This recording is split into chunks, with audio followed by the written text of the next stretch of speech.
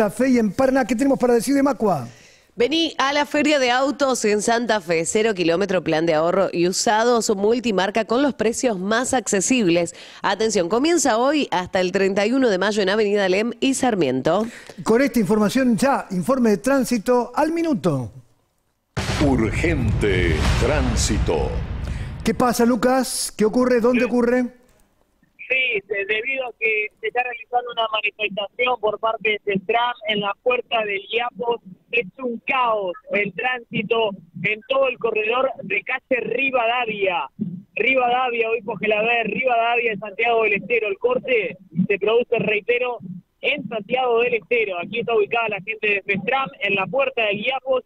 Y lo que pasa es lo siguiente: muchos de los vehículos que vienen circulando por Santiago del Estero con sentido eh, este oeste, bueno, llegan hasta este lugar, hoy porque la verdad, este oeste llegan se genera una gran fila de vehículos debido a que el semáforo les dan rojo llegado a casi 25 de mayo. Y un Por lo tanto quedan todos en el medio. Y un detalle, estamos tomando, eh, invertí la cámara por favor porque se te ve tu arma nada más. Y eso debe ser producto de, de la derrota de anoche. Bueno, eh, que- digo que no, no, no le dio ganas de afeitarse, porque fue- caer, caer otra vez, otra derrota, otra vez Boca. Bueno, ¿qué pasa? Par- si podemos partir pantalla, está Luca mostrando lo que es un caos, pero un caos total en Rivadavia y lo que viene siendo Balcarce, que se convierte en obispo. Pero ¿qué ocurre en el otro lado? No pasa nadie. Solamente pasan en Rivadavia Boulevard los que hacen el ida y vuelta por Boulevard. Cuando se pone en verde, el, semáforo que habilita a la gente que viene por Rivadavia, nadie, porque está cortado. Entonces, es tan raro, estoy esperando que cambie, está en rojo ahora, pero que pase a verde, porque creo que verlo así, nunca lo hemos visto a esta hora de la mañana. Eh, tal es así que viene muy poco tránsito por, por Boulevard. Eh, creo que ahora debe estar eh, habilitado un semáforo peatonal, porque no cambia, pero en este instante, ahí está, en verde. Pasa una moto, nada más, pero una moto. Ah, y debe ser un auto que estaba ahí estacionado. Pero no pasa nadie.